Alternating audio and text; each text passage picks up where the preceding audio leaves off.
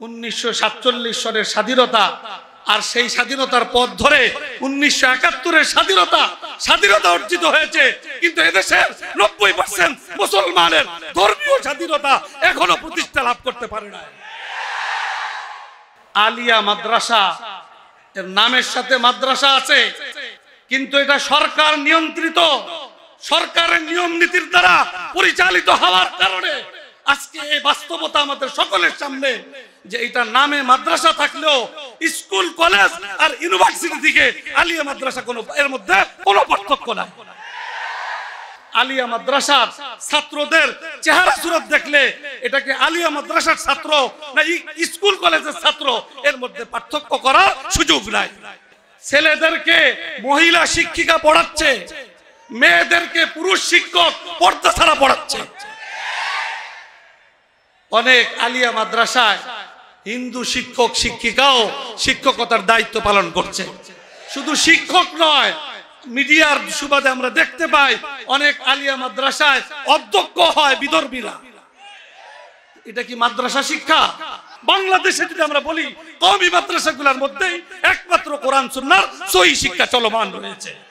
ইসলাম বিরোধী বিভিন্ন বিষয়াবলী কীভাবে আরও দূর করা যায় এর থেকে কীভাবে মুক্ত করা যায় এর জন্য আমাদেরকে সচেতন হতে হবে সচেষ্ট হতে হবে প্রতিবাদ করতে হবে প্রয়োজনে প্রতিরোধ করে তুলতে হবে। সত্যনের মশালবাহী প্রিয় মনীষীদের পাপড়ি টিভি।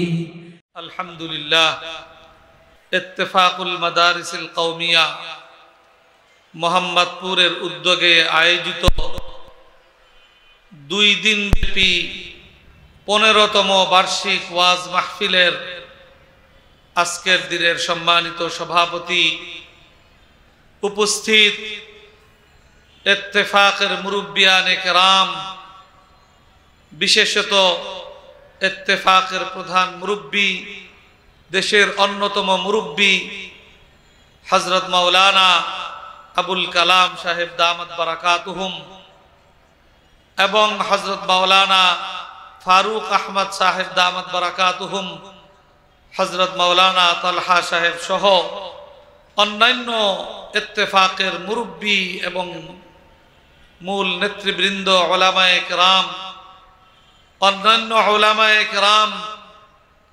এলাকার দিনদার ভাইয়েরা পর্দার আড়ালের আমার অত্যন্ত সম্মানিতা মা ও বোনেরা এবং আমার প্রাণ প্রিয় ছাত্র ভাইয়েরা। ইত্তেফাকুল মাদারিসিল কৌমিয়া এটা হলো কৌমি মাদ্রাসা সমূহের ঐক্যবদ্ধ প্ল্যাটফর্ম ওই কৌমি মাদ্রাসাটা কি? কৌমি মাদ্রাসা প্রতিষ্ঠার ইতিহাস কি?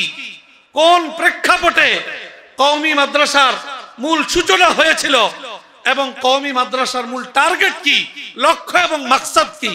এবং কৌমি মাদ্রাসা পরিচালনার নীতিমালা কি? এই সম্পর্কে সংক্ষিপ্ত কিছু আলোচনা করে আমার আলোচনা ইনশাআল্লাহ শেষ করব। কৌমি মাদ্রাসা, এটা একটা বিশেষায়িত শিক্ষা ব্যবস্থার নাম। আমাদের বাংলাদেশে আলহামদুলিল্লাহ বর্তমানে সারা বাংলাদেশের জেলায়, থানায় শহরে, গ্রামে, বন্দরে, মহল্লায় সর্বত্র, আলহামদুলিল্লাহ, ছোট, বড়, কওমি মাদ্রাসা সারা বাংলাদেশে ছড়িয়ে ছিটিয়ে তাদের এই দায়িত্ব শিক্ষা কার্যক্রম পরিচালনা করছে।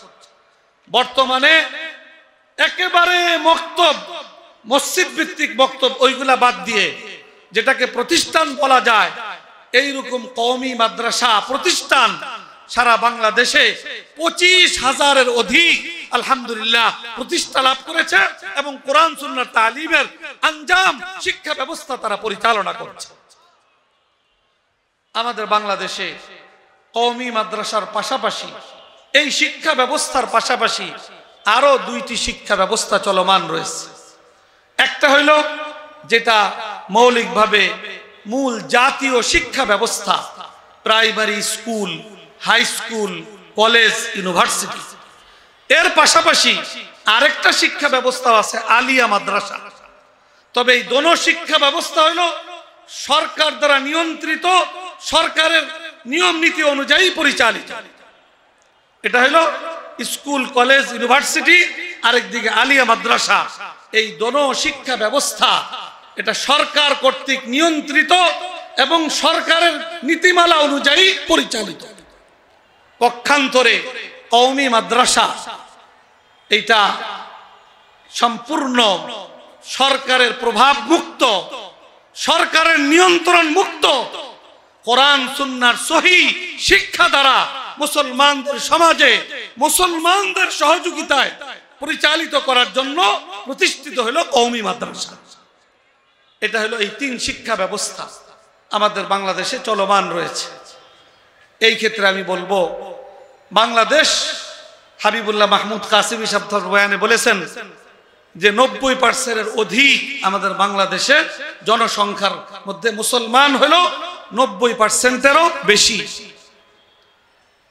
কিন্তু আমাদের জাতীয় শিক্ষা ব্যবস্থা, প্রাইমারি স্কুল, কলেজ, ইউনিভার্সিটি, এটা অনেকের মানতে, শুনতে কষ্ট লাগলেও বাস্তবতা, এই শিক্ষা ব্যবস্থার সূচনা হয়েছে আমাদের এই গোটা ভারতবর্ষে, এই ভারতবর্ষ যখন ব্রিটিশরা মুসলমানদের রাজত্বকে চিনিয়ে নিয়ে তাদের রাজত্ব এবং কর্তৃত্ব প্রতিষ্ঠিত করে এই গোটা ব্রিটিশ তথা আজকের দিনের ভারত, পাকিস্তান, বাংলাদেশ, এটা ছিল এক সময় ভারতবর্ষ। এই গোটা ভারতবর্ষে ছিল ইসলাম ধর্ম ভিত্তিক শিক্ষা ব্যবস্থাই ছিল জাতীয় শিক্ষা ব্যবস্থা। সেই শিক্ষা ব্যবস্থা ব্রিটিশরা যখন ভারতবর্ষকে দখল করে নিল, তারা সেই শিক্ষা ব্যবস্থাকেও সমূলে ধ্বংস করে দিয়ে এখানে বিকল্প আরেকটি শিক্ষা ব্যবস্থা তারা চালু করল। যেই শিক্ষা ব্যবস্থা সম্পর্কে ওই ব্রিটিশ ইংরেজরা যারা চালু করেছে, তাদেরই মন্তব্য হলো যে এই ভারতবর্ষে আমরা এমন এক শিক্ষা ব্যবস্থা চালু করলাম।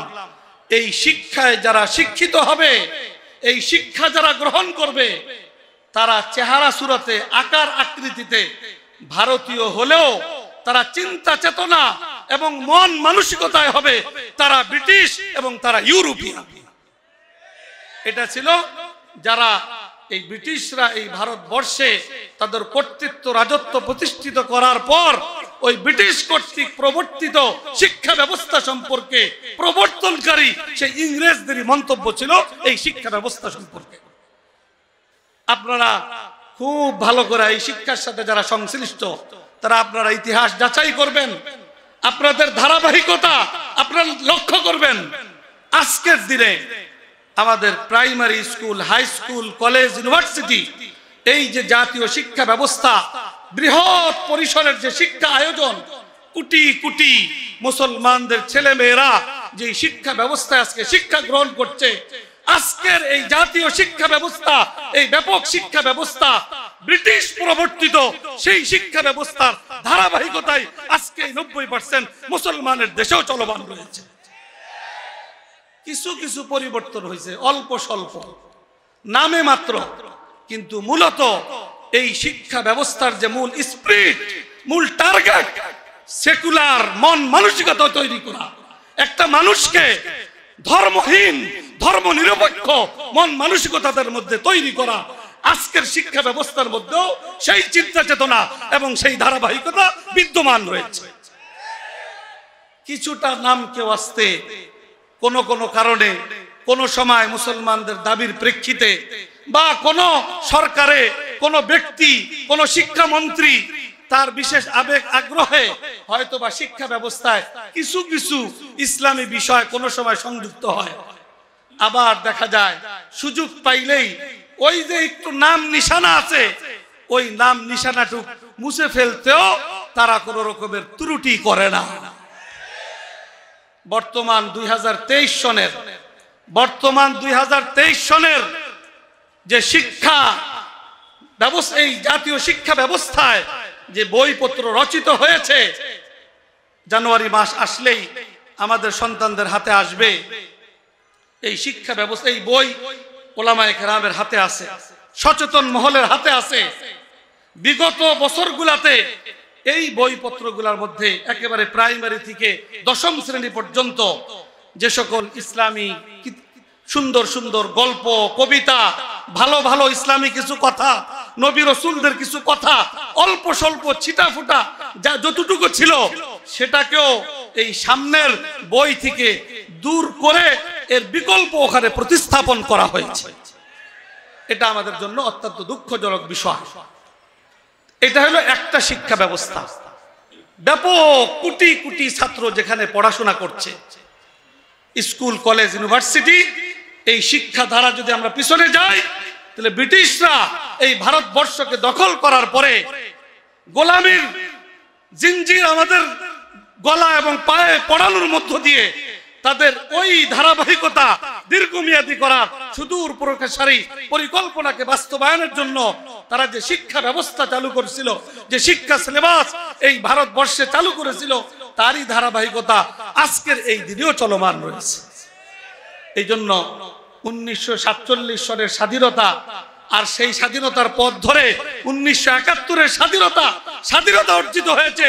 কিন্তু এদেশের নব্বই পার্সেন্ট মুসলমানের ধর্মীয় স্বাধীনতা এখনও প্রতিষ্ঠা লাভ করতে পারে না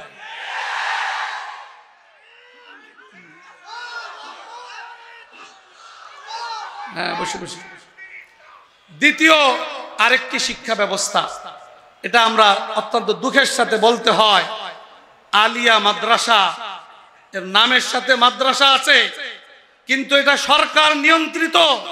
সরকারের নিয়ম নীতির দ্বারা পরিচালিত হওয়ার কারণে আজকে এই বাস্তবতা আমাদের সকলের সামনে যে এটা নামে মাদ্রাসা থাকলেও স্কুল, কলেজ আর ইউনিভার্সিটি থেকে আলিয়া মাদ্রাসা কোনো, এর মধ্যে কোনো পার্থক্য নাই। হ্যাঁ দুই চারটা আলিয়া মাদ্রাসা এর থেকে ব্যতিক্রম থাকতে পারে, তার বিশেষ কোনো আয়োজনের কারণে। কিন্তু ব্যাপকভাবে সারা দেশের আলিয়া মাদ্রাসা সেখানে আজকে কোরআন, হাদিস, ইসলাম শিক্ষার কিছু বিষয় আছে, কিন্তু সেটা গৌণ, সেটা উপেক্ষিত। এবং কোরআন, হাদিস শিক্ষার যে মূল বিষয়, যে শিক্ষার সাথে সাথে ছাত্রদের মধ্যে, শিক্ষার্থীদের মধ্যে সেই শিক্ষার বাস্তব প্রতিফলন তাদের জীবনকে সেভাবে গড়ে তোলা। আলিয়া মাদ্রাসার ছাত্রদের চেহারা সুরত দেখলে এটাকে আলিয়া মাদ্রাসার ছাত্র না স্কুল কলেজের ছাত্র? এর মধ্যে পার্থক্য করার সুযোগ নাই। আজকে সহশিক্ষা এটাকে ইসলাম সমর্থন করে না। কোরআন, হাদিস এটাকে অনুমোদন করে না। এটা আমরা জোর গলায় বলব, এটা আমাদের বলা দায়িত্ব। আলিয়া মাদ্রাসা সরকার কর্তৃক নিয়ন্ত্রিত এবং পরিচালিত হওয়ার কারণে আজকে আলিয়া মাদ্রাসাগুলাতে ব্যাপকভাবে সহশিক্ষা চলমান। ছেলেদেরকে মহিলা শিক্ষিকা পড়াচ্ছে, মেয়েদেরকে পুরুষ শিক্ষক পর্দা ছাড়া পড়াচ্ছে। অনেক আলিয়া মাদ্রাসায় হিন্দু শিক্ষক শিক্ষিকাও শিক্ষকতার দায়িত্ব পালন করছে। শুধু শিক্ষক নয়, মিডিয়ার সুবাদে আমরা দেখতে পাই, অনেক আলিয়া মাদ্রাসায় অধ্যক্ষ হয় বিদর্মীরা এটা কি মাদ্রাসা শিক্ষা? এটা হলো আরেক শিক্ষা ব্যবস্থা। একটা হলো জাতীয় শিক্ষা ব্যবস্থা, স্কুল, কলেজ, ইউনিভার্সিটি। আরেকটা হলো আলিয়া মাদ্রাসা। এর বিপরীতে, আলহামদুলিল্লাহ, ব্রিটিশরা যখন ভারতবর্ষকে দখল করে নেয়, দখল করার আগ মুহূর্ত পর্যন্ত গোটা ভারতবর্ষ তার পিছনে প্রায় সাত আটশো বছর পর্যন্ত মুসলমানরা এই ভারতবর্ষকে শাসন করেছে। এবং সেই সময় গোটা ভারতবর্ষের জাতীয় শিক্ষা ব্যবস্থা ছিল ইসলাম ধর্মভিত্তিক শিক্ষা ব্যবস্থা। এই শুধু এক বাংলা অঞ্চল, ভারত এই আমাদের বাংলাদেশ এবং ভারতের পশ্চিমবঙ্গ, ওদিক দিয়ে আসাম, যেই অঞ্চলের মানুষের মাতৃভাষা হইল বাংলা। এই এক বাংলা অঞ্চলেই ব্রিটিশরা যখন এই এলাকা দখল করে গোড়া ভারতবর্ষ শুধু এক বাংলা অঞ্চলেই ছিল, আশি হাজারের মতো শিক্ষা প্রতিষ্ঠান। এই সব গোটা ভারতবর্ষকে তারা কর্তৃত্বে নেওয়ার পরে তাদের রাজত্ব এবং কর্তৃত্বকে দীর্ঘমেয়াদী করার পরিকল্পনায় তারা মূল প্রতিপক্ষ তারা স্থির করল, নির্ধারণ করল মুসলমানদেরকে। এবং মুসলমানদের ইসলামী জজবা, এটার জন্য তারা মূল বিষয় নির্ধারণ করল কোরআন, সুন্নার সহি শিক্ষা ব্যবস্থা। এই জন্য তারা গোটা ভারতবর্ষ থেকে ইসলাম নামক শিক্ষা ব্যবস্থা, ইসলামের আদলে গড়ে ওঠা শিক্ষা ব্যবস্থাকে তারা সমূলে ধ্বংস করে দিল। কোরআন, হাদিসের ধারক, বাহক, ওলামায়ে কেরামকে তারা সমূলে শহীদ করতে লাগল। হাজার হাজার ওলামায়ে কেরামকে ফাঁসির কাস্টে ঝুলিয়ে তাদেরকে শহীদ করতে লাগল। এই অবস্থায় আমাদের তৎকালীন আকাবিরিন, বুজুর্গানে দিন, মুরব্বিয়ানে কেরাম। যাদের অন্যতম হাজি ইমদাদুল্লাহ মুহাজির মক্কি রহমতুল্লাহ আলাই তার মুরিদ, তার খলিফা, তার শিষ্য হজ্জাতুল ইসলাম কাসেম নানুদুবি ফকিহুন নফস, রশিদ আহমদ গঙ্গুহি। এই সমস্ত নামগুলা আমাদের সাধারণ মুসলমানদেরও একেবারে মুখস্থ নয়, ঠোঁটস্থ থাকা দরকার। ইনাদের অনেক অনেক অবদান এই গোটা ভারতবর্ষের প্রতিটা মুসলমানের প্রতি।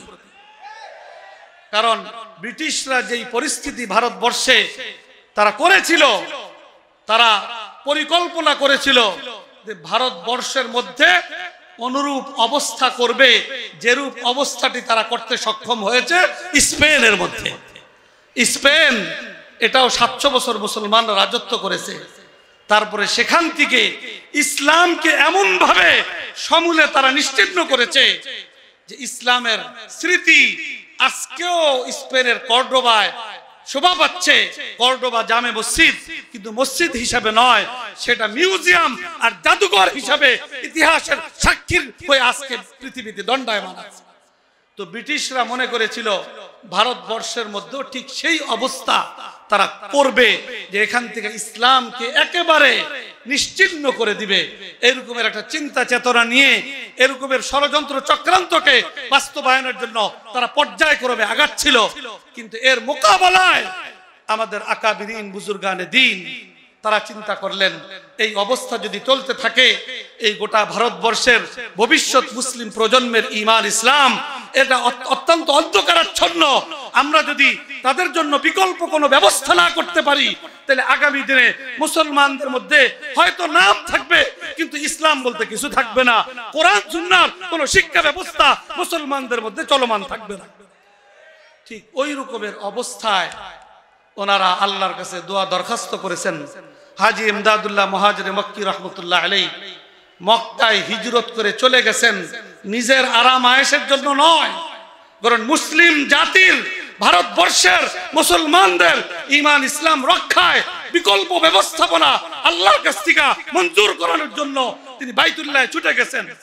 রাতকে রাত, দিনকে দিন, সপ্তাহকে সপ্তাহ, মাসকে মাস বাইতুল্লাহর গেলাপ ধরে চোখের পানিতে বুক বাঁচাইছেন ভারতবর্ষের ভবিষ্যৎ মুসলমানদের ইমান ইসলামের হেফাজতের কি ব্যবস্থা আল্লাহর কাছে ভাবে ফরিয়াদ করেছেন, রোনা জারি করেছেন।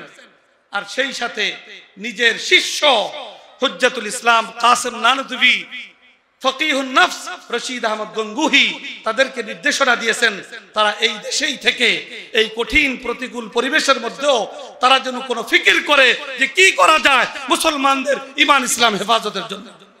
আলহামদুলিল্লাহ, এর প্রেক্ষিতেই আল্লাহ রাব্বুল আলামিন আমাদের তৎকালীন বুজুর্গানে দিন মুরব্বিয়ারে কেরামের দিলের মধ্যে এলহামি ভাবে আমাদের এই কওমি মাদ্রাসার সুতিকাগার মূল কেন্দ্র দারুল হলুম দেওবন্দের এক ফিকির আল্লাহ রাব্বুল আলামিন আমাদের তৎকালীন বুজুর্গানে দিনের দিলের মধ্যে ঢেলে দিয়েছে ওনারা এই ভারতবর্ষের মুসলমানদের ইমান ইসলাম হেফাজতের জন্য কোরআন, সুন্নার সহি শিক্ষা মুসলমানদের মধ্যে চলমান রাখার জন্য তিনারা এক শিক্ষা প্রতিষ্ঠান প্রতিষ্ঠিত করলেন। অত্যন্ত প্রতিষ্ঠানের বাহ্যিক রূপ ছিল অত্যন্ত দুর্বল। একজন ছাত্র একজন ওস্তাদ কোন ঘর দুয়ার নাই, একটা গাছের তলে শুরু করেছেন। তো বাহ্যিক আকৃতি তো খুব দুর্বল ছিল, কিন্তু ওনাদের হিম্মত দুর্বল ছিল না। ওনাদের লক্ষ্য কোনো ছোটখাটো কোনো লক্ষ্য ছিল না। ওনাদের স্বপ্ন কোনো ছোটখাটো স্বপ্ন ছিল না। ওনারা একজন ছাত্র, একজন উস্তাদ দিয়ে গাছের তলে প্রতিষ্ঠান প্রতিষ্ঠা করছেন। আর ওনারা লক্ষ্য স্থির করেছেন যে গোটা ভারতবর্ষকে ইংরেজ এবং ব্রিটিশদের থেকে মুক্ত করতে হবে এই শিক্ষা ব্যবস্থার মাধ্যমে। এবং আলহামদুলিল্লাহ, ভারতবর্ষকে ইংরেজ এবং ব্রিটিশ থেকে মুক্ত করার ক্ষেত্রে যারা অনন্য ভূমিকা রেখেছেন, তারা প্রত্যেকেই দারুল উলুম দেওবন্দেরই সন্তান। শাইখুল হিন্দ মাহমুদ হাসান দেওবন্দি রহমতুল্লাহ আলাই এই ভারতের স্বাধীনতা অর্জনের জন্য, পুনরুদ্ধারের জন্য তার পুরো জিন্দিগিকে তিনি ওয়াকফ করে দিয়েছেন। বছরকে বছর তিনি জেল খেটেছেন, কিন্তু তিনি তার এই মিশন তিনি অগ্রগামী করে গেছেন এবং তার পরবর্তী শিষ্য শাইখুল আরবি ওয়াল আজম সৈয়দ হুসাইন আহমদ মাদানী এবং অন্যান্য শাগিরদানের মাধ্যমে ভারতের স্বাধীনতা অর্জিত হয়েছে। এর পিছনে আমাদের আকাবিরিন, বুজুর্গানে দিন, তাদেরই মেহনত, তাদেরই কোরবানি, তাদের রক্ত, তাদের ফিকির, তাদের জেল, জুলুম, হুলিয়া, সবকিছু স্বীকার করেই তারা স্বাধীনতা পুনরুদ্ধার করেছে। আজকে স্বাধীনতার কথা আসলে, অনেক, অনেকের কথা আসে কিন্তু আমাদের মুসলমান সন্তানেরা অত্যন্ত দুঃখজনক। তারা এমন শিক্ষা ব্যবস্থায় শিক্ষা গ্রহণ করছে, সেখানে এমন ইতিহাসই পড়ছে যে সেই ইতিহাসের মধ্যে শাইখুল হিন্দের নাম তারা শিখতেছে না, হুসাইন আহমদ মাদালির নাম তারা জানতেছে এটা আমাদের জন্য অত্যন্ত দুঃখজনক বিষয়। আমি মুসলমানদের প্রতি আহ্বান করব, আমরা নব্বই পার্সেন্ট মুসলমান। আমাদের জাতীয় শিক্ষা ব্যবস্থায় সংখ্যাগরিষ্ঠ এদেশের নাগরিক তাদের চিন্তা চেতনা এবং তাদের ধর্মের এটার একটা প্রতিফলন শিক্ষা ব্যবস্থার মধ্যে হওয়া, এটা ছিল স্বাভাবিক বিষয়। কিন্তু আজকে আমরা তার থেকে বঞ্চিত। আজকে এমন এক শিক্ষা ব্যবস্থা আমাদের উপরে চেপে বসেছে এবং দুর্বিসন্ধি, ষড়যন্ত্রকারী, চক্রান্তকারীরা এমন এমন ভাবে তারা তাদের কার্যক্রম পরিকল্পনা চল চালাইছে যে আমরা নব্বই পার্সেন্ট মুসলমান বোকার মতো দেখতেছি আর তারা তাদের ষড়যন্ত্র সব বাস্তবায়ন করে চলেছে। আমাদেরকে ব্যাপারে সচেতন হতে হবে, সোচ্চার হতে হবে। ইসলাম বিরোধী এই সকল সেকুলার যে নীতিমালা আছে, শিক্ষা ব্যবস্থা থেকে সেগুলোকে দূর করতে হবে। দারুলুম দেওবন্দ প্রতিষ্ঠিত হইল আঠারোশো ছিষট্টি সনে। আমাদের তৎকালীন বুজুর্গানে দিন চিন্তা করলেন, শিক্ষা ব্যবস্থা তো একটা ব্যাপক বিষয়। এটা তো রাষ্ট্রীয় সহযোগিতা ছাড়া, রাষ্ট্রের তত্ত্বাবধান ছাড়া এটাকে পরিচালনা করা তো অনেক কঠিন বিষয়। কিন্তু যেই রাষ্ট্র, তাদের মূল লক্ষ্যই হলো রাষ্ট্রকে ইসলাম শূন্য করা, রাষ্ট্রকে কোরআন সুন্নার শিক্ষা থেকে বঞ্চিত করা। তো সেই রাষ্ট্রের কাছে, সেই সরকারের কাছে কোরআন সুন্নার শিক্ষার কোনো সহযোগিতার প্রত্যাশা করা, এটা তো তেঁতুল গাছে আম প্রত্যাশা করার নামান্ত। এই জন্য কঠিন হলেও তিনারা হিম্মত করে তেনারা ফিকির করলেন, আল্লাহ রাব্বুল আলমিন ওনাদের ফিকিরের মধ্যে বরকত দান করলেন, এমন এক শিক্ষা ব্যবস্থা চালু করলেন, তার শিক্ষা ব্যবস্থা চলার ব্যবস্থাপনা এটা করলেন, যে সরকার এবং রাষ্ট্রের প্রভাব মুক্ত থেকে, প্রভাব মুক্ত থাকতে হইলে তাদের অর্থ থেকে মুক্ত থাকতে হয়। কারও অর্থ খাইবো, আবার তার প্রভাব থেকে বেঁচে থাকব, এটা সম্ভবপর না। এই জন্য আকাবিরিন প্রথম দিক থেকে চিন্তা করলেন, লক্ষ্য স্থির করলেন যে আমাদের এই শিক্ষা ব্যবস্থাকে সরকারের প্রভাব মুক্ত রাখতে হবে। সরকারের প্রভাব মুক্ত রাখতে হইলে সরকারি অর্থ থেকে এটাকে মুক্ত রাখতে হবে। সেই ধারাবাহিকতায় দারলুম দেওবন্দ থেকে আজকে দেড়শো বছর, আঠারোশো ছিষট্টি সনে দারলুম দেওবন্দের প্রতিষ্ঠা। আজকে দুই হাজার বাইশ সন একশো পঞ্চান্ন, ছাপ্পান্ন বছর। আলহামদুলিল্লাহ, দারলুম দেওবন্দ এই এক দেড়শো বছরে এক দারলুম দেওবন্দ থেকে শুধু ভারত, পাকিস্তান, বাংলাদেশেই লক্ষাধিক দেওবন্দের শাখা প্রশাখা জন্মগ্রহণ করেছে। এবং আলহামদুলিল্লাহ এটা অত্যন্ত দৃঢ়তার সাথে বলতে পারি, দারুলুম দেওবন্দ দেড়শো বছর আগে তার প্রতিষ্ঠাকালীন সময়ে যেই আদর্শ, যেই লক্ষ্য উদ্দেশ্য স্থির করেছিল, যেই কর্ম পদ্ধতি পরিচালনা পদ্ধতি তারা নির্ধারণ করেছিল, আজকেও সেই লক্ষ্য এবং সেই পরিচালনা পদ্ধতির উপরে তারা ইস্তেকামতের সাথে আছে বিদ্যমান। ইনশাআল্লাহ আমরা আশাবাদী আগামীতেও বিদ্যমান থাকবে ইনশাআল্লাহ। আমরা যারা দারুলুম দেওবন্দের নাম লেওয়া আমাদের কওমি মাদ্রাসা, প্রতিটা মাদ্রাসা দারুলুম দেওবন্দের এক একটি শাখা প্রশাখা আলহামদুলিল্লাহ, আমাদের আকাবিরিন বুজুর্গানে দিন। তারাও সরকারের থেকে স্বীকৃতি দিয়েছেন কিন্তু খুব ভালো করে বুঝা শুই না, এভাবেই স্বীকৃতি দিয়েছেন যে শিক্ষা সিলেবাসের মধ্যে সরকারের হস্তক্ষেপের কোনো সুযোগ থাকবে না। এবং মাদ্রাসা পরিচালনায় সরকার থেকে কোনো অর্থনৈতিক সহযোগিতা নেওয়া হবে না। আলহামদুলিল্লাহ, সেভাবেই কওমি মাদ্রাসাগুলা চলছে।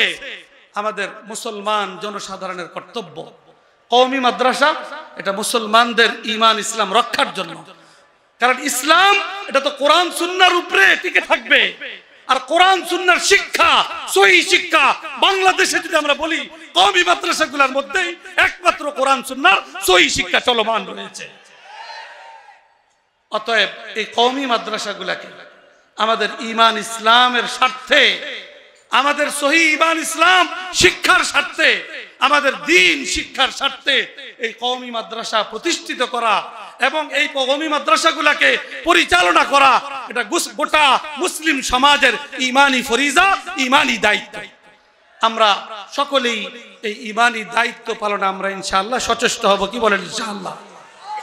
কওমি মাদ্রাসার উপরে কোনো সময় প্রতিকূল পরিবেশও আসে আমরা যারা মুসলমান, কওমি মাদ্রাসাগুলা খেয়ে না খেয়ে, আজকে তো আমরা কওমি মাদ্রাসায় বিল্ডিং দেখি।